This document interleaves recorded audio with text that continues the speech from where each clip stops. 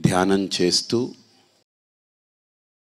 ఈ దీపోత్సవాన్ని పూర్తిగా ఆ పరమేశ్వరుడి యొక్క సాన్నిధ్యాన్ని అనుభూతి పొందండి. ఓ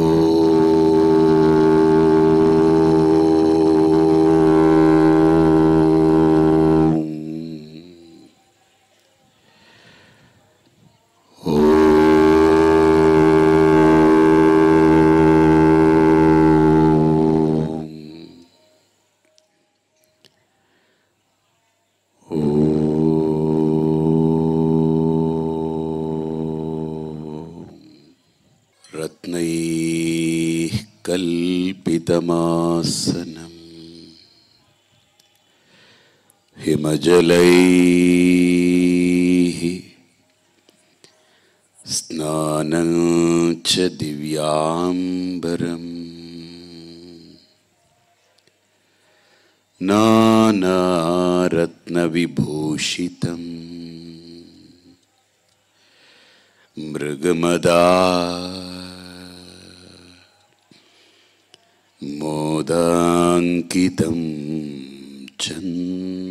चन्दनम्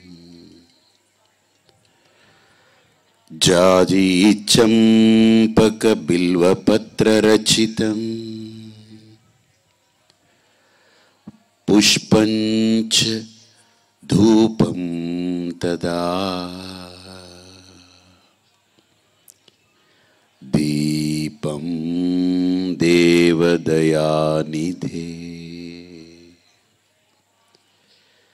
पशुपते। हृत्कल्पितं गृह्यताम्। सौवर्णे नवरत्नखण्डरचिते। पात्रे घृतं पायसम् भक्ष्यं पञ्चविधम् पयोदधियुतम्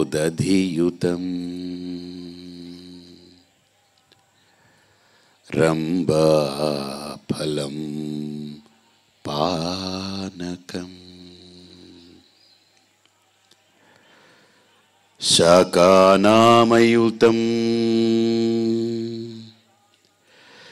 जलं रुचिकरम्। कर्पूरखण्डोज्ज्वलम्।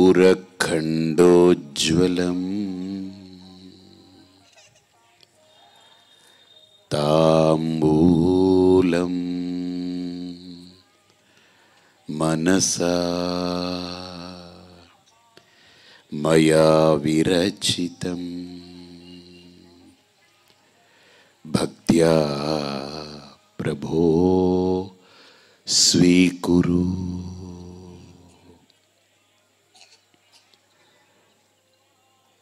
छत्रं चामरयोर्युगम् व्यजनकञ्च आदर्शकं निर्मलम्। वीणाभेरि मृदङ्गकाहलकला। गीतञ्च नृत्यं तथा। साष्टाङ्गं प्रणतिः स्तुतिर्बहुविधा।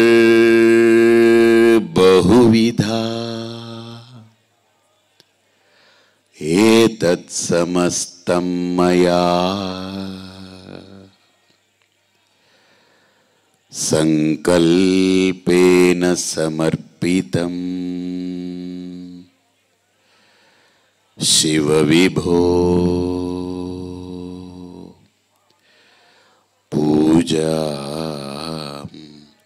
गृहाण प्रभो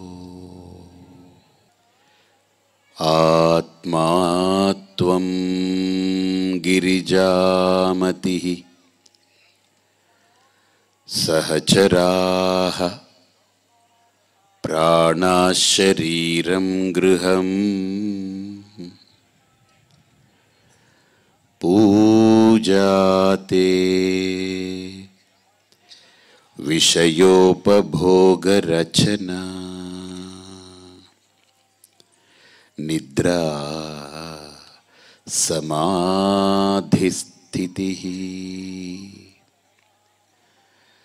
सञ्चारः पदयोः प्रदक्षिणविधिः। स्तोत्राणि सर्वागिरो। यद्यत्कर्म करोमि तत्तदखिलम् शम्भो। तवाराधनम् यद्यत्कर्म करोमि तत्तदखिलम्। शम्भो। शिवशम्भो तवाराधनम् करचरणकृतं वाक्कायजं कर्मजं वा। श्रवणनयनजं वा। मानसं वा पराधम्।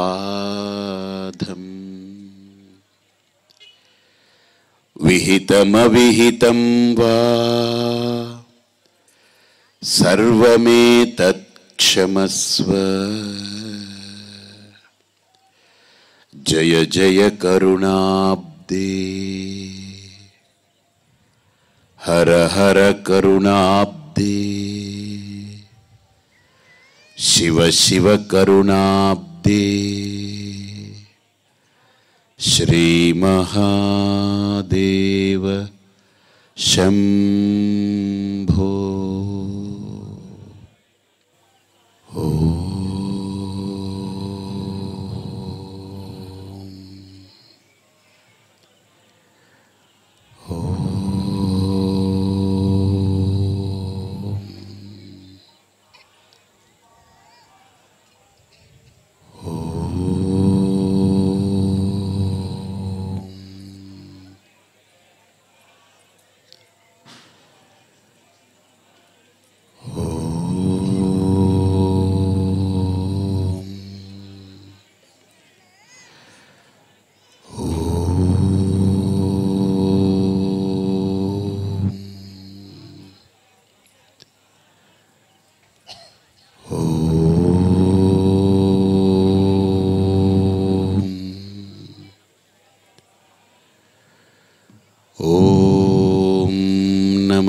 शिवाय ॐ नमः शिवाय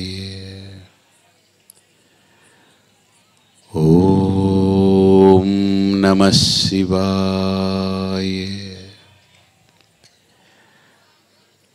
ॐ नमः शिवाय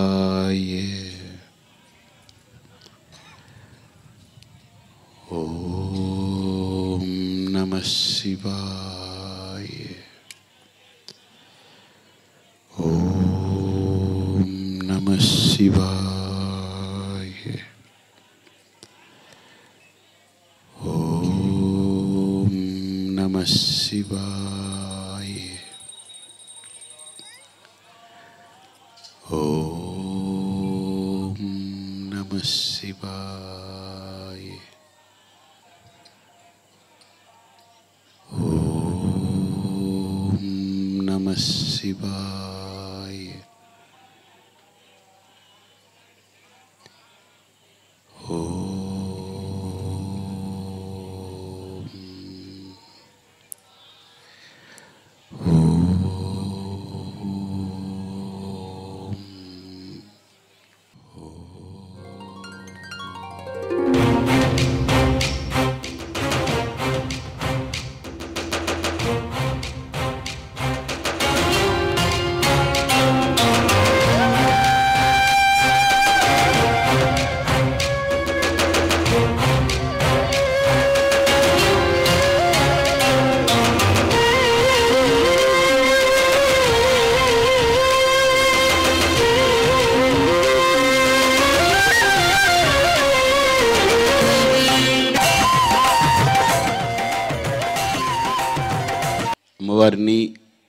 ఆరాధించేటువంటి ఆరాధనలో పంచమి తిథి చాలా ప్రాశస్త్యంగా చెప్తారు. అష్టమి ఒకటి పంచమి. అందుకే మనకు లలితలో కూడా పంచమి పంచభూతేషి పంచసంఖ్యోపచారిణి. ఈ పంచమి అనేటువంటి తిథి ఆంజనేయ స్వామికి కూడా పంచమి తిథి నాడు ఆంజనేయ స్వామి ఆయన వైశాఖ శుద్ధ పంచమి నాడు ఆయన ఆవిర్భవించారనేటువంటిది మనకు చెప్తుంది. ఈరోజు ఎంత ఒక నమ్మదగ్గ విషయం ఏంటంటే ఈ ఏర్పాట్లు చేసే సమయంలో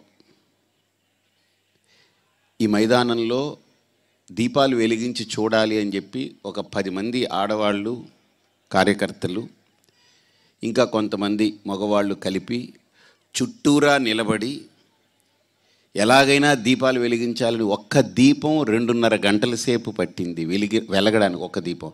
అది కూడా ఆరిపోయేది. కానీ ఇద్దరు కూర్చొని గాలి కొడుతున్న లక్ష దీపాలు మనం మూడు లక్షల ముప్పై మూడు వేల మూడు వందల దీపాలు అలా వెలుగుతున్నాయనంటే నేను అప్పుడే చెప్పాను మనం ఇంత వేస్తున్నాం ఈ ప్రయోగాలు చేస్తున్నాము ఇవన్నీ చేస్తున్నాము ఆగట్లేదు నిలబడట్లేదు అని అంటే నేను చెప్పా కార్యక్రమం ప్రారంభమైనప్పుడు అది ఆయన చూసుకుంటారు. ఇప్పుడు మనం వెలిగిస్తున్నాం అప్పుడు ఆయన వెలిగించుకుంటాడు. కాబట్టి మనం కంగారు పడద్దని గాల్లో దీపం పెట్టడం అనేది రోజు అనుకుంటున్నాం కదా మనం. జ్యోతిష్యంలో పంచాంగంలో మీరందరూ గమనిస్తే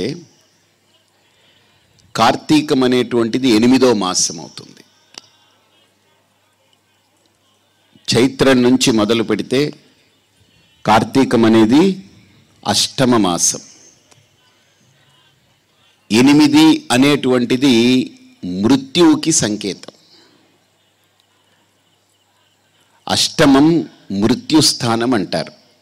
జాతక చక్రంలో కూడా ఎనిమిదో స్థానాన్ని పరిశీలన చేస్తే ఇప్పుడు నేను జాతకం నేర్చుకుంటున్నప్పుడు ఇవన్నీ ఏంటని దాని గురించి తెలుసుకోవాలనుకుంటున్నప్పుడు మా గురువు గారి దగ్గర జాతకం గురించి తెలుసుకుంటున్నప్పుడు ఒకళ్ళు ఒక జాతకం పంపారు. ఏమండి మా మా వాడిదండి మా అబ్బాయిది ఈ జాతకం ఒకసారి చూడరా అని మా గురువు గారి దగ్గరికి పంపారు. మా గురువు గారు ఏం చేశారంటే ఆయన కొద్దిగా ఆయన కొద్దిగా గిల్లడం అలవాటు ఆయనకి. ఆయన ఏం చేశారు? ఆ జాతకం నాకు ఇచ్చి నువ్వు నేర్చుకుంటున్నావు కదయ్యా. ఏం నీకేం కనిపిస్తుంది? ఏమిటని అడిగారు. ఏంటంటే ఈ జాతకం నాకు ఇచ్చి నన్ను చూడమంటున్నారు. మీరెందుకు చూడలేదని అంటే నాకు కనిపించేది కనిపించి ఏడుస్తుందిలే నీకేం కనిపించింది చెప్పు అన్నారు. నాకు నేను సడన్గా చూశాను. నేను సరిగ్గా దాన్ని ఏమిటో ఈయన ఎందుకు నన్ను పరిశీలిస్తున్నారా పరీక్షిస్తున్నాడా ఏంటని మైండ్ అంతా దాని మీదకి వెళ్ళింది. ఎప్పుడూ జాతక పరిశీలన చేసేటప్పుడు మూడు ఉండకూడదట మనిషికి. ఒకటి అహంకారం. నేను చెప్తాను అయిపోతుంది. నేను చెప్పింది వేదము. నేను చెప్తే ఏదైనా జరుగుతుంది అని అనుకునేవాడు కొన్ని రోజులు ఎగురుతాడు తైతక్కలాడి కిందపడి బోర్ల బొక్క పడతారు. ఎందుకంటే నవగ్రహాలని హ్యాండిల్ చేయడం అంటే అహంకారం ఉంటే చాచి పెట్టి కొట్టి నేలకి అంటిస్తుంది అది. రెండోది ప్రతిగ్రహణం. అంటే జాతకం చెప్పి మనం వాళ్ళ దగ్గర నుంచి ఏమైనా తీసుకున్నాము అని అంటే ఆ గ్రహాల మీద మనం పరిశీలన చేసి పరిశోధన చేసి తెచ్చుకుంటున్నాం కాబట్టి ఎవరికైతే చెప్పి ఆ డబ్బు తీసుకుంటున్నామో వాడి దోషం మన ఎత్తి మీదకి వచ్చి కూర్చుంటుంది. అహంకారం ఉండొద్దు ప్రతిగ్రహణము ఉండొద్దు. మూడోది మనం ఏ నోటితో అయితే జాతకం చెప్తున్నామో వాళ్ళు అనుష్ఠానంతో సదాచారంతో సచ్చింతనతో సాత్వికమైన భావజాలంతో ఉండాలి. ఇప్పుడు చూస్తున్నాం చాలామంది మేము ఇది చేస్తాం మేము అది చేస్తాం. టీవీలో చూస్తుంటే అనిపిస్తుంది ఎన్ని ఎగిరి కింద పడే కేసులే అన్నట్టు అనిపిస్తుంది. మా గురువుగారి దగ్గరికి ఆ జాతకం వచ్చింది. నాకు చెప్పారు నాకు ఇదేంటండి గురువుగారు ఈయన పరిశీలిస్తున్నాడో ఈయన పరీక్షిస్తున్నాడో ఏమిటో అర్థం కావట్లేదు. నా మైండ్ అంతా అందులోకి వెళ్ళిపోయింది. ఈ జాతకాన్ని ప్రిడిక్ట్ చేయడం పక్కకు పోయి అందులోకి వెళ్ళిపోయింది. నేనేం చెప్పనండి నాకేం అర్థం కావట్లేదు అన్నాను. అంటే ఆయన ఉండి ఈ చచ్చిపోయిన జాతకం వచ్చింది మన దగ్గరికి అన్నాడు ఆయన. ఈ జీవుడు లేడు పోయాడని. నేను వెంటనే వచ్చిన వాళ్ళకి నేను వాళ్ళకి వెంటనే మెసేజ్ పెట్టాను ఏమండి ఒకసారి మీరు రండని. వాళ్ళు వచ్చారు. వస్తే నేను వాళ్ళని కూర్చొని అడిగాను ఏమండి ఇది మా గురువుగారు ఇలా అన్నారు ఇది పోయిన కేసు ఇది ఇది మన దగ్గరికి ఇలా వచ్చింది అని. అవును బాబు అన్నారు వాళ్ళు. మా అబ్బాయి చనిపోయాడు యాక్సిడెంట్లో. అయితే ఆవిడకి ఏంటంటే భ్రమ పాపం ఉండిపోయి నాకు నా కొడుకు ఇంకా పోలేదు ఎక్కడో ఉన్నాడు ఎక్కడో ఉన్నాడు అనేటువంటి భ్రమలో ఉండిపోయి ఆ జాతకం చూపించి ఎక్కడున్నాడు బాగున్నాడా ఏమిటో అని పాపం ఆవిడ లోపల తపన తల్లి యొక్క తపన. మా గురువుగారు అన్నారు ఇతనికి ఆయుష్ యొక్క బలం లేదు ఆయుర్బలం లేదు ఈ జాతకుడికి అని. వాళ్ళ తండ్రి ఆయన దగ్గరుండి ఏమండి మేము ముందుగా తెలుసుకుని ఉంటే ఈ జాతకం ముందుగా చూపించుంటే ఎన్ని మీరు ఎన్ని పిల్లి మొగ్గలేసినా వాళ్ళు చేసే పని వాళ్ళు చేస్తూ ఉంటారు అంతే నువ్వు చాలా తెలివిగలవాడు అనుకుంటావు కానీ నీకంటే కాలం చాలా గొప్పది. ఎందుకంటే నువ్వు పుట్టింది ఒక కాలంలో. ఆ కాలం నిన్ను పుట్టించింది కానీ కాలాన్ని నువ్వేం సృష్టి చేయలేదు. కాలాన్ని నువ్వేం ఉత్పత్తి చేయలేదు. నువ్వు కాలానికి కర్తవి కావు. కాలము నీకు కర్త. కాబట్టి నువ్వు దాన్ని అనుసరించాల్సిందే అన్నారనమాట అలా జాతక చక్రంలో ఎనిమిదవ స్థానం అంటారు. దాన్ని మరణము అంటారు రహస్యం అంటారు. అందుకనే మృత్యు అనేది కూడా రహస్యం. ఎప్పుడు బయటపడుతుందో తెలియదు అది. మీ అందరికీ ఎప్పుడు నా స్పీచ్లో చెప్తుంటా. మనందరికీ డేట్ ఆఫ్ బర్త్ ఉంది కదా. మ్యానుఫ్యాక్చరింగ్ డేట్ ఉంది. ఎక్స్పైరీ డేట్ ఉందా? చెప్పండి. మీకు ఏమైనా ఐడియా ఉందా? చెప్పండి. కానీ నాకు నా ఎక్స్పైరీ డేట్ తెలుసు పర్ఫెక్ట్ తెలుసు. ఎందుకు తెలుసు అని అంటే నేను ఎందుకు వచ్చానో నేను ఆ పని ఎప్పటిలోగా పూర్తి చేయాలో అన్నీ ప్లాన్ చేసుకుని వచ్చిన పని పూర్తి చేసుకుని మనం వెళ్ళిపోవాలనే దాంట్లో తట్టపుట్ట సర్దుకొని రెడీగా ఉంటాం మనం. కాబట్టి మరణం అనేది రహస్యం. మ్యానుఫ్యాక్చరింగ్ డేట్ ఉంటుంది కానీ మనందరికీ ఎక్స్పైరీ డేట్ కూడా మ్యానుఫ్యాక్చరింగ్ డేట్తో పాటు వేయాలి. మీరు ఏ ప్రోడక్ట్ కొన్నా ఫస్ట్ ఏం చూస్తారు? ఏ డేట్ చూస్తారు? మ్యానుఫ్యాక్చరింగ్ డేట్ చూస్తారా? ఎక్స్పైరీ డేట్ చూస్తారా? చెప్పండి. నేను మనకు మాత్రం చూసుకునేటప్పుడు అది తెలియదు ఒకరు చెప్పినా మనం భరించలేము నమ్మలేము వినలేము సహించలేము. కారణం ఏంటనంటే అది భ్రమ. అందుకని ఆ మరణం అనేది అష్టమ స్థానం. అష్టమ స్థానంలో మరణం అనేది ఉంటుంది. అది రహస్యం.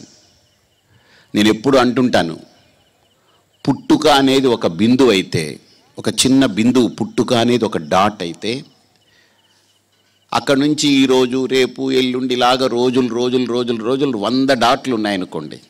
సపోజ్ వంద సంవత్సరాల డాట్లు ఉన్నాయనుకోండి. మనం ఏమనుకుంటాం? లాస్ట్ డాట్లో మరణం ఉంటుంది అనుకుంటాం పొరపాటు ప్రతి బిందువులో మరణం దాగుంటుంది ఎప్పుడు బయటపడుతుందో తెలియదు పుట్టుక అనే బిందువులోనే మరణం కూడా దాగుంది ఎందుకంటే అప్- అప్పుడే అంట ఏమండి పుడుతూ పుడుతూనే పోయాడండి పిల్లాడు అని.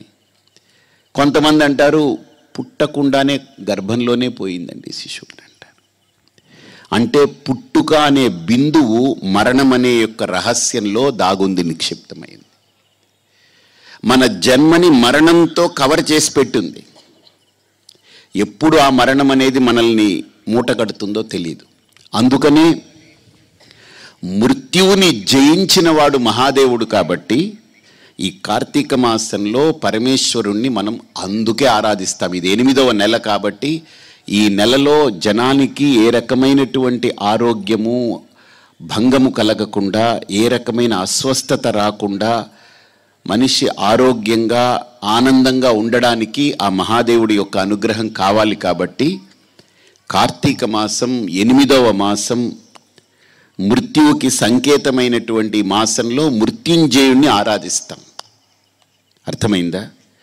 కాబట్టి ఈ నెలలో మరి అంత బలమైన ఈ నెలలో అతిరుద్రం కూడా చేస్తున్నాం మనం. దీపోత్సవం చేస్తున్నాం. అన్నీ చేస్తున్నాం. కానీ యాగానికి ప్రాధాన్యత మహాశక్తి యాగం. కోటి బగళాముఖి చేస్తున్నాము. వంద కోట్ల కుంకుమార్చన చేస్తున్నాం. మరి ఎందుకు అమ్మవారిని ప్రధానంగా ఈ నెలలో చెయ్యాలి అనంటే ఇక్కడ ఆ ప్రశ్నకు సమాధానం ఒక్కటే. ఈ కోవిడ్ అనేది ఏదైతే మనకు పట్టుకుందో ఈ కోవిడ్ తర్వాత మనిషి ఎంత బలహీనుడైపోయాడంటే ముప్పై నలభై ఏళ్ళ ముసలితనం ఒక్కసారి వచ్చి ప్రతి వ్యక్తి మీద పడిపోయింది.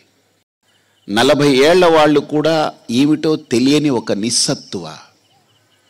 శరీరంలో ఏదో ఒక రకంగా నరాల బలహీనత లేకపోతే బ్రెయిన్ కూడా అంత షార్ప్నెస్ తగ్గిపోవడం మతిమరుపు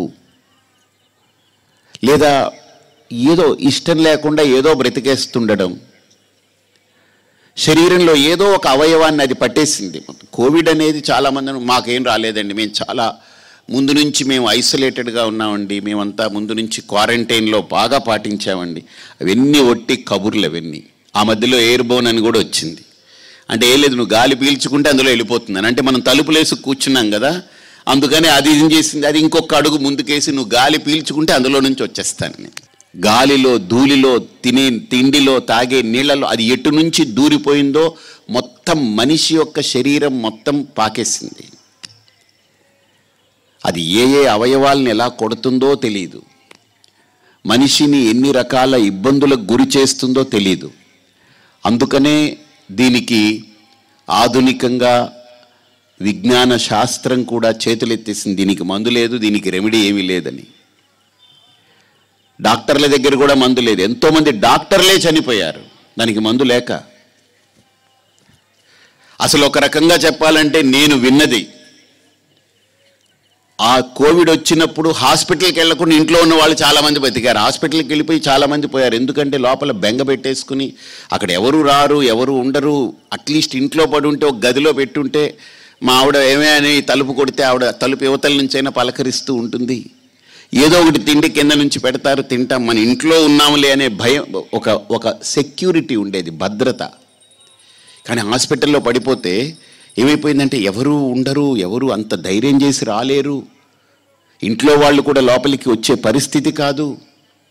అసలు మీరు గమనిస్తే ఆ సమయంలో ఒక పీక్ స్టేజ్లో కోవిడ్లో చనిపోయినటువంటి శవాల గుట్టలన్నీ తీసుకెళ్ళి ఒక గోతులో వేసేసి దాంట్లో పెట్రోలో డీజిలో పోసి కాల్చేశారు. ఎందుకంటే అవన్నిటినీ పెట్టుకుంటే ఇంకా ఇన్ఫెక్షన్స్ పెరిగిపోతాయి. ఇంకా వ్యాపిస్తుంది. అసలు కోవిడ్ వచ్చినప్పుడు నేను శ్రీపీఠంలో ఉండి ఆలోచించినటువంటి ఆలోచన అంతా ఇంత కాదు. అప్పుడు అనుకున్నాను దీనికి పరిష్కారం ఎవడి మనిషి చేతిలో లేదు శాస్త్రం చేతిలో లేదు అంటే విజ్ఞాన శాస్త్రం చేతిలో లేదు. సైంటిస్టులు చేతులు ఎత్తేశారు. డాక్టర్లు ఏమి చేయలేదు వాళ్ళే పిట్టల్లా రాలిపోతున్నారు. అసలు ఇవన్నీ మనుషులంతా ఎందుకు చచ్చిపోతున్నారో తెలియట్లేదు అని అనుకుంటున్న నేపథ్యంలో అప్పుడే అనుకున్నాను. దీనికి ఏదైనా ఒక పరిష్కారం ఉంది అంటే అది ఒక మహాశక్తి యాగము అనేటువంటి సంకల్పం ఆనాడు ఒక బీజం పడింది. అప్పుడు సరిగ్గా మీరు చూస్తే రెండు వేల పంతొమ్మిది నవంబర్లో అప్పుడు కార్తీకం ప్రారంభమైంది. అప్పుడే నేను అన్ని మీడియాలకి చెప్పాను ఎవ్వరూ అంతవరకు చెప్పలేదు. నేను మొట్టమొదటిసారి చెప్పి ఈ గ్రహాల యొక్క కలయికతో ప్రపంచం మొత్తాన్ని కుదిపేయబోయేటువంటి భయంకరమైన ఒక పరిస్థితి రాబోతుంది. ఇప్పటికీ మీరు యూట్యూబ్లో వెళ్ళి చూస్తే తెలుస్తుంది. మొట్టమొదట భారతదేశంలో కాదు ప్రపంచంలో ఎవరు కూడా ఆలోచించి కూడా ఉండరు. ఈ ప్రపంచం మొత్తాన్ని ఇలా కుదిపేస్తుందా అని. నాకు కూడా తెలియదు కోవిడ్ అని తెలియదు కానీ ఆ గ్రహాల యొక్క కలయిక వల్ల ఏదో జరగబోతుంది. ప్రపంచం మొత్తం దేశమైతే ఖచ్చితంగా స్తంభిస్తుంది. ప్రపంచమంతా ఏదో ఇబ్బంది పడుతుందని ఆ రోజు చెప్పి వెంటనే బయలుదేరి కార్తీక మాసం పౌర్ణమి నాడు ఇక్కడ ఒకే రోజు. ఆ రోజు కూడా మా దగ్గర ఏమీ వసతులు లేవు ఏమీ లేవు. లక్ష కొబ్బరికాయలతో ఈశ్వరుడికి అభిషేకం చేయాలి అమ్మవారికి అనుకున్నాం. లక్ష ఎనిమిది వేల కొబ్బరికాయలు వాటంతట వచ్చాయి. కానీ లక్ష ఎనిమిది వేల కొబ్బరికాయలు వస్తే కొట్టడం మనిషికి ఏమైనా అడిగి చేతులు రెండు పనిచేస్తాయి ఆ తర్వాత. కానీ అనుకున్నదే తడువు ఉదయాన్నే నాలుగు గంటలకు ప్రారంభిస్తే ఆ కొడుతూ ఉంటే ఆ చప్పుడికి లక్షా ఎనిమిది వేల కొబ్బరికాయలు కొట్టారు. ఆ తీర్థమంతా తీసి సుమారు నాలుగు వేల బిందెలు తీర్థంతో ఆ కొబ్బరి నీళ్ళతో అమ్మవారికి ఈశ్వరుడికి అభిషేకం చేశాం. వెంటనే అంతేకాదు ఆ రోజే లక్ష అరటిపళ్ళతో ఆంజనేయ స్వామి వారికి అర్చన చేశాం. ఆ రోజే శివుడికి లక్షపత్రి పూజ చేశాం. ఆ రోజే సాయంత్రం అమ్మవారికి లక్ష పుష్పాలతో అర్చన చేశాం. ఆ రోజు రాత్రి లక్ష దీపాలు వెలిగించాం ఆవు నెయ్యితోటి. అప్పుడు ఇంకా ఈ ఐశ్వర్య దీపం ఇంకా రాలేదు. ఒక్కటే రోజు ఇన్ని చేస్తే మా వాళ్ళందరూ ఇక్కడ ఉన్నటువంటి వాళ్ళందరూ మీరు ఏంటండి మమ్మల్ని అందరినీ ఏవి చెయ్యాలా బతకాలా ఏంటి టెన్షన్లు ఏంటని. నేను సాఫీగా అయిపోతుంది కంగారు పడకండి అని అంట. నేను ఎప్పుడు దేనికి కంగారు పడే మనస్తత్వం లేదు. ఎప్పుడు దేన్ని పెద్ద నేను లోపలికి తీసుకునేది ఉండదు. అది అలాగా అన్నీ నడిచిపోయింది ఆ రోజు. ఆ రోజు అనుకున్నాను ఇది కాదు ఇది ఏదో జస్ట్ ఒక నామమాత్రంగా ఇది ఒక సంకల్పం మాత్రమే ఇది. కానీ దీనివల్ల జరిగేది ఏమి ఉంటుందో లేదో తెలియదు కానీ మనం ఒక మహాశక్తి యాగాన్ని చెయ్యాలి. అంటే మనందరం శక్తిహీనులం అయిపోతున్నాం ఇప్పుడు. శక్తిహీనులం అయిపోతున్నాం లిటరల్లీ. రోజు రోజుకి మనిషి ఏం తింటున్నా ఇదన్నీ బలం పెరగాలి కానీ ఏదో తినేస్తూ ఉంది. లోపల ఏదో శరీరంలో కూర్చుని ఏదో తినేస్తూ ఉంది. మనకు తెలియట్లేదు. దీనికి తోడు చికాకులు విసుగు రకరకాల ఇబ్బందులు ఇవి భరించలేనటువంటి మానసిక వ్యధ ఆందోళన కుటుంబ భారం పని భారం శరీర భారం. ఇన్ని భారాలతో మనిషి ఎలాగ లాక్కెళ్ళగలడు? అందుకే ఈ మహాశక్తి యాగం అనేది జరగాలి అని పెట్టుకున్నాం. అది ఆ కార్తీకంలో చేసినప్పుడు అనుకున్నాను రెండు వేల పంతొమ్మిదిలో ఇప్పుడు రెండు వేల ఇరవై మూడులో కార్తీకంలో ఇది ప్రారంభం చేశాం. అందుకే కార్తీక మాసంలో మహాశక్తి యాగాన్ని సంకల్పించింది. రెండవది ఇది పూర్తిగా కార్తీకం అనగానే భారతదేశం అంతా కూడా ఈ కార్తీక మాసంలో వ్రతాలు నోములు దీక్షలు ఉపవాసాలు జపాలు మందిరాలకు వెళ్ళడం దీపారాధన చేయడం రకరకాలు ఉంటాయి. కోటిపత్రి పూజ లక్షపత్రి పూజ. అసలు ఇది ఒకటి రెండు కాదు అలా జరుగుతూనే ఉంటాయి. రెండవది భారతదేశం మొత్తం శివనామ స్మరణతో మారుమూరుగుతూ ఉంటుంది ఈ కార్తీక మాసం. అలాంటి పవిత్రమైనటువంటి కార్తీక మాసంలో ఈ మహాశక్తి యాగాన్ని సంకల్పించాం. మీ గతంలో కూడా చెప్పాను ఆ యాగం చెయ్యాలి అని అంటే ఒక్కటే ఒక తపస్సులా చేయాలి ఏదో సమిదలు పోగు చేసి కర్రలు కొట్టి సమిదలు తయారు చేసి నెయ్యి పట్టుకొచ్చి మంత్రం చెప్పి అందులో వేస్తే మాత్రము అది హోమం కాదు అది యాగం కాదు ఒక తపస్సు జరగాలి. తపస్సు అంటే ఒక మహాశక్తిని ఇక్కడ జాగరణ చేసేటువంటి ఇక్కడ ఆవిష్కరించేటువంటి ఒక తపస్సు జరగాలి. అంటే తపించాలి. ఎంత తపించగలిగితే తద్ది తపస్ తద్ది తపహ అని ఉపనిషత్ అంటుంది. మనం ఎంత తపిస్తే అంత దాని అనుగ్రహం ఉంటుందని. ఆ తపన ఆ తపస్సు అనేటువంటి సంకల్పంతో ఈ మహాశక్తి యాగాన్ని నిర్వహించాం. మీకు ఆశ్చర్యం. అందులో బగళాముఖి అమ్మవారిని ఎందుకు ఎంచుకున్నాం ఈ మహాశక్తి యాగంలో అంటే అమ్మవారి యొక్క సకల దివ్య శక్తులని ఒక దగ్గర పెడితే అదే బగళాముఖి అమ్మవారు. ఆవిడికి మించిన మహాశక్తి స్వరూపిణి అండపిండ బ్రహ్మాండాల్లో ఉండరు. మీకు ముందే చెప్పాను బ్రహ్మాస్త్ర బ్రహ్మ విద్యాచ బ్రహ్మాస్త్రాన్ని ఎదుర్కోగలిగే శక్తి భూమి మీద హరికి లేదు హరుడికి లేదు బ్రహ్మకి లేదు. బ్రహ్మే ఒకసారి బ్రహ్మాస్త్రం విడిచిన తర్వాత అది ఎవరి చేతుల్లోనూ ఉండదు ఎవరు ఆపలేరు దాన్ని. కానీ ఆ బ్రహ్మాస్త్రాన్ని అడ్డుకోగలిగేటువంటి మహాశక్తి స్వరూపము బగళాముఖి అమ్మవారు. ఎందుకంటే బ్రహ్మాస్త్రానికి ధీటైన మహాశక్తి దిగమింగగలిగేటువంటి శక్తి ఒక బగళాముఖి అమ్మవారిది. మీరు ఆ మంత్రాలన్నీ వింటుంటే విశేష హోమాల్లో అష్టభైరవుల్ని ఆవాహన చేస్తారు అక్కడ. ఒక్కొక్క భైరవుడికి ఆహుతులు ఇస్తారు కాళికి ఇస్తారు తారా ఇస్తారు. ఇలా ఒక్కటి కాదు మొత్తం నూట ఎనిమిది రకాల ఆహుతులతో బగలాముఖి హోమం విశేష హోమం నూట ఎనిమిది దేవత దివ్యశక్తులు అంటారు దాన్ని. ఆ నూట ఎనిమిది దివ్య శక్తులకి ఆహుతులు ఇస్తారు అలాంటి బగలాముఖి తప్ప ఇప్పుడు మనందరినీ బయట పడేయగలిగింది. ఇంకా వేరే ఏ శక్తి నాకు కనపడట్లేదు. అందుకనే బగలాముఖి అమ్మవారికి కోటి జపంతో హోమం చేస్తున్నాం. ఎందుకంటే కోటి సంఖ్య? అసలు ఈ అంకెల గారెడి ఏంటని అనుకోవచ్చు. సంఖ్యకి ప్రమాణం ఉంది. ఒక కోటి అనేది లెక్క పెట్టడంలో అనంతమని అర్థం సహస్రం అంటేనే వెయ్యి అంటేనే అనంతం అంటారు కానీ సహస్రానికి ఎన్ని రెట్లయితే కోటి అవుతుంది? సహస్రం వంద రెట్లయితే ఒక లక్ష. అంతే కదా? అదే కోటి అవ్వాలంటే ఆ లక్ష వంద అయితే ఒక కోటి. అంటే ఒక కోటి సంఖ్యతో ప్రమాణంతో బగలాముఖి అమ్మవారిని ఆరాధిస్తున్నాం. కలియుగంలో ఒక నియమం ఉంది. ఏంటనంటే మనం ఏదైనా మంత్రాన్ని సిద్ధింపజేసుకోవాలి అంటే అక్షర లక్ష ప్రమాణంతో చెయ్యాలి అని. అంటే ఒక మంత్రం ఉందనంటే దానికి మంత్రానికి ఎన్ని అక్షరాలు ఉంటాయి? అన్ని అక్షరాలు లెక్కబెట్టి అన్ని లక్షల సార్లు ఆ మంత్రాన్ని జపం చేయాలి చేస్తే అక్షర లక్ష చేస్తే మంత్రసిద్ధి అవుతుంది. కానీ కలియుగంలో అక్షర లక్ష నాలుగు పురశ్చరణలు చేస్తే కానీ అవ్వదట. నాలుగు సార్లు చేయాలి అది. ఉదాహరణకి ఏదైనా ఒక మంత్రం ఉంటే దానికి పదకొ ఇప్పుడు ఓం నమ శివాయ ఓం నమో నారాయణాయ.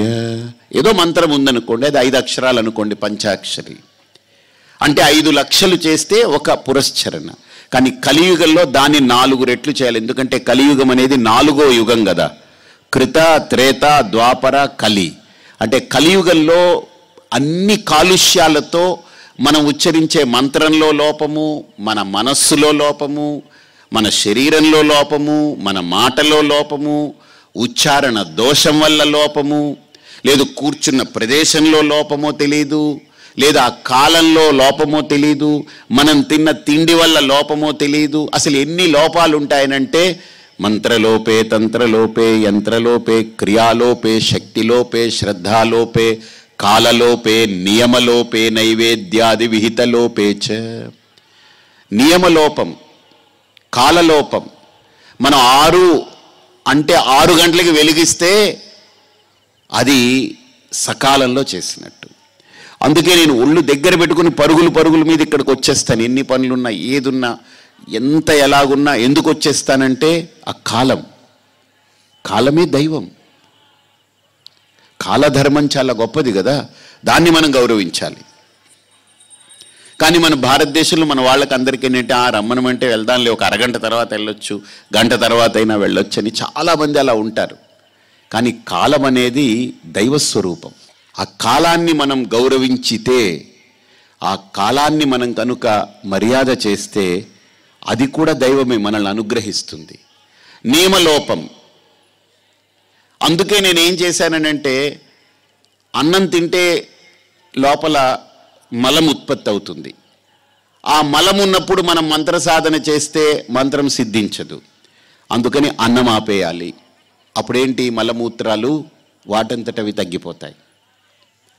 అందుకే ముప్పై రోజులు కూడా మహాశక్తి యాగంలో ఒక బలీయమైన ఒక తపస్సు ఏదైతే కానీ ఉంటే ఉంటాం పోతే పోతాం కానీ ఈ మహాశక్తిని ఇక్కడ ఆవిష్కరణ చేసి తీరుతామని ఒక పట్టుదలతో పెట్టుకున్న సంకల్పమే ఈ మహాశక్తి యాగం. ఒక తపస్సు చెయ్యాలి అని. ఏదో ఊరికినే అల్తు పల్తుగా అలా చేసేసి ఏదో మంత్రాలు చెప్పి లేకపోతే సమిదలు వేసేసి నెయ్యి వేసేసి అయిపోయిందని అవగొట్టుకోవడం అనేది ఒక క్రియాభాగం మాత్రమే. ఇప్పుడు మీరు చూడండి దీపాలు వెలిగించారనుకోండి దీపాలు వెలుగుతాయి. కానీ ఆ వెలిగిన దీపాలతో మీరు పొందే అనుభూతి ఏంటి?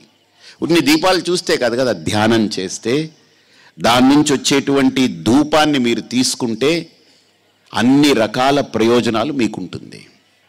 మీ అందరికీ అదొక గొప్ప అవకాశం. ఆ మంత్రము ఆ ఉచ్చారణ అక్కడ జరిగేటువంటి క్రతువు సామాన్యమైంది కాదు. అలాగనే ఉదయం నుంచి సాయంత్రం వరకు అతిరుద్రము. ఒక్కసారి రుద్రపారాయణ చేస్తేనే డెబ్భై రెండు వేల నాడులు ప్రతిస్పందిస్తాయి. అలాంటిది పద్నాలుగు వేల ఆరు వందల నలభై ఒక్క సార్లు ఆ యాగశాలలో మహారుద్రాన్ని అతిరుద్రాన్ని పారాయణం చేస్తూ శివుణ్ణి అర్చన చేస్తున్నారు. అంటే ఆలోచన చేయండి ఎంత గొప్ప శక్తిని జాగృతం చేస్తుంది అలాగనే ఈ యాగానికి రక్షగా గాయత్రి మాతని సంకల్పించి ప్రతిరోజు గాయత్రి మంత్రం ఉపాసన జరుగుతుంది. అక్షర లక్ష గాయత్రి పూర్తి చేయాలని. ఇలా ఈ మహాశక్తి యాగాన్ని సంకల్పించినప్పుడు అనిపించింది. ఇప్పటి వరకు లలితా సహస్రనామం ఎన్నో లక్షల మంది కోట్ల మందికి తెలుసు. కానీ ఒక వేదికగా ఒక వంద కోట్ల పారాయణ జరపాలి అని సంకల్పం చేసినప్పుడు వీళ్ళందరూ బాబాయ్ వంద కోట్లు అంటే ఎంతమంది రావాలి? అసలు రోజు అంతమంది వస్తారా? ఏమిటని కింద మీద పడ్డారు. నాకు ఎప్పుడు అనుమానం ఉండదు. ఒకటి అనిపించింది అని అంటే అనిపించిందంటే స్పష్టంగా కనిపించింది అని అర్థం. అనిపించడం కనిపించడం. అయితే అది అయిపోయినట్టే పని. ఆ అనిపించడం వరకే ఆగిపోయి కనిపించకుండా ఉందనుకోండి. ఇప్పుడు ఎవరో ఒకరు వచ్చి పొడుస్తారు ఇది అవుతుందా? అని అంటే ఏమో అవుతుందేమో ఏమో ఏమో చెప్పలేమేమోనండి నిజమే మీరు అన్నది మీరు అన్న కష్టమే ఇవన్నీ ఇది అని. ఖచ్చితంగా మనం మనలో అహంకారాన్ని పక్కకు పెట్టి అమ్మా అని ఆవిడ పాదాల మీద పడితే నా జీవితంలో మళ్ళీ అమ్మవారు ఇలాంటి అవకాశం నాకు ఇస్తుందో లేదో కూడా తెలియదు ఆ అనుభూతిని పొందండి. అమ్మవారి యొక్క అనుగ్రహానికి పాత్రులు కండి. మనం ఈ శరీరంలో ఉన్నాము ఈ శరీరం ఇబ్బంది పడకూడదు మన చీర నలగకూడదు మన శరీరం ఎక్కడ అలసట పొందకూడదు అనే భావాలు పక్కకు పెట్టేయండి అమ్మ కోసరం ఆ దివ్యత్వం కోసరం ఏదైనా సరే పక్కన పాడేయచ్చు. వీళ్ళు వాళ్ళు వచ్చి ఏమండి మీరు కళ్ళు లోపలికి వెళ్ళిపోతున్నాయి ఏమిటోనండి మీరేం తినట్లేదా ఏమిటనంటే నాకు అనిపిస్తుంది నా కళ్ళు లోపలికి వెళ్ళాయని నాకే తెలియవు. కళ్ళు లోపలికి వెళ్ళడం కాదు కళ్ళు మూసుకుపోయినా సరే ఐ డోంట్ కేర్ నాకు అమ్మ పాదాలు పట్టుకుంటే అలానే అంత మొండి పట్టుతోటే పట్టుకుంటాను. ఆవిడ పాదాలు విడిచిపెట్టేది లేదు. డిసెంబర్ పదమూడు అంటే డిసెంబర్ పదమూడు వరకు ఒక్క మెతుకు కాదు. నేను వడ్డన కూడా చేస్తున్నా కొన్ని చోట్ల వెళ్ళి. మొన్న ఎవరికో అక్కడ భోజనం తక్కువైతే రాత్రి ఇంకోళ్ళు ఎవరినో తీసుకెళ్ళి వాళ్ళకి వంట చేసి కూడా పెట్టాను నేను. అంటే వాళ్ళకి తగ్గి తగ్గిపోయింది వాళ్ళేమో తిండి తినలేదు మరి అలా ఉంటే బాగుండదు. నీరసం ఏం లేదండి. మీరందరూ ఏమీ జాలి చూపించొద్దు అస్సలు. ఇంకా మీరు స్వామి మీరు ఇలా చేస్తున్నారు ఇంకా చేయాలి ఇంకా చేయాలి అనాలి కానీ అయ్య బాబాయ్ అలాగా అయ్య బాబాయ్ ఇలాగా అస్సలు ఏమీ కంగారు పడక్కర్లేదు. చంటి పిల్లాడికి గుక్కెడు పాలు అమ్మ తన స్థనం నుంచి పెడితే రోజంతా ఆడుకుంటాడు చేతులు కాళ్ళు ఎట్టి గుక్కెడు పాలు అది. ఆడికి ఏం సరిపోతుంది? గుర్తుపెట్టుకోండి అది తల్లి ఇచ్చేది పాలు కాదు. ఇరవై నాలుగు గంటలు శక్తిని ఇస్తుంది తల్లి ఆ పిల్లాడికి. అలాగే ఇక్కడ అమ్మ ఇచ్చే ఆ శక్తి నాకు చాలు. అన్నం తింటే వచ్చే శక్తి కంటే ఆవిడిచ్చే అమృతంతో వచ్చే శక్తి చాలా గొప్పది. ఆవిడ మీద అంత పూర్తి శరణాగతితో ఉన్నాం. ఇక్కడ కార్యకర్తలు కూడా చాలామంది. కానీ చాలామంది ఉదయం పూట వచ్చి రేపు కూడా చెప్దాం అనుకుంటున్నాం. కొంతమంది అంటున్నారట స్వామి ఏమి తినట్లేదు? మనకు పెడుతున్నారు మనం తింటే పాపం ఆయన తినంది మనం తినడం ఏంటని కొంతమంది అతిగా ఆలోచిస్తున్నారు. అస్సలు ఉండకండి. ఎందుకంటే ఇక్కడ నుంచి ఒక్కరు కూడా తినకుండా వెళితే నాకు ఆకలి మొదలవుతుంది. నా దీక్ష ఇబ్బంది కలుగుతుంది. మీరు కడుపు నిండా తింటే అమ్మ నాకు ఇచ్చే శక్తి నాకు ఇస్తుంది అందుకే మీకు కొద్దిగా అసౌకర్యంగా ఉన్నా ఇబ్బందిగా ఉన్నా నిలబడి అమ్మవారి యొక్క ప్రసాదం అది. ఒక్కొక్క రోజు అమ్మవారిని ఒక్కొక్క శక్తిని ఆవాహన చేసి అర్చన చేస్తున్నారు అక్కడ. నాకు తెలిసి ఈ యాగము ఒక అద్భుత ఘట్టానికి ఆవిష్కారం అవుతుంది. ఒక గొప్ప చరిత్రను ఆవిష్కరిస్తుంది. ఒక గొప్ప ఇతిహాసానికి సంకేతమవుతుంది. కాబట్టి తప్పకుండా అందరం ఈ యాగంలో మనస్ఫూర్తిగా పాల్గొందాం. అన్నీ కొన్ని రోజులు అన్నీ పక్కన పెడదామంటే ఈ ముఖ్యమైన కార్యక్రమాలు పెళ్ళిళ్ళో లేకపోతే ఇంకొకటో ఇంకొకటో మీకు ఏదైనా దేహధర్మం ప- పట్ల కొద్దిగా ఆటంకం ఉన్నా లేకపోతే ఇంట్లో ఏదైనా చిన్న చిన్న ఉన్నా దాన్ని దృష్టిలో పెట్టుకుని ఏదైనా మిస్ అయితే పర్వాలేదు కానీ ఉన్న అక్కడికి వెళ్తే అలాగండి ఇలాగండి అనుకుని లేదా ఏదో ఒకసారి చుట్టం చూపుగా వచ్చి ఏదో అలాగ తిరిగేసి కాకుండా ఇక్కడ ఉత్పత్తి జరిగే తరంగాల్ని ఈ పాజిటివిటీని అనుభూతి పొందే ప్రయత్నం చేయండి. అమ్మవారిది శివుణ్ణి చక్కగా మనస్ఫూర్తిగా ధ్యానం చేద్దాం. అందరూ కళ్ళు మూసుకుని ఒకసారి నేను ధ్యాన శ్లోకం చెప్తాను. ధ్యానం చేస్తూ మీరు ఆ ఈశ్వరుణ్ణి అమ్మవారిని ప్రార్థించండి. शान्तम् पद्मासनस्थम् शशिधरमुकुटम् पञ्चवक्त्रम् त्रिनेत्रम् शूलं वज्रं च खड्गम् परशुमभयदम् दक्षभागेवहतम्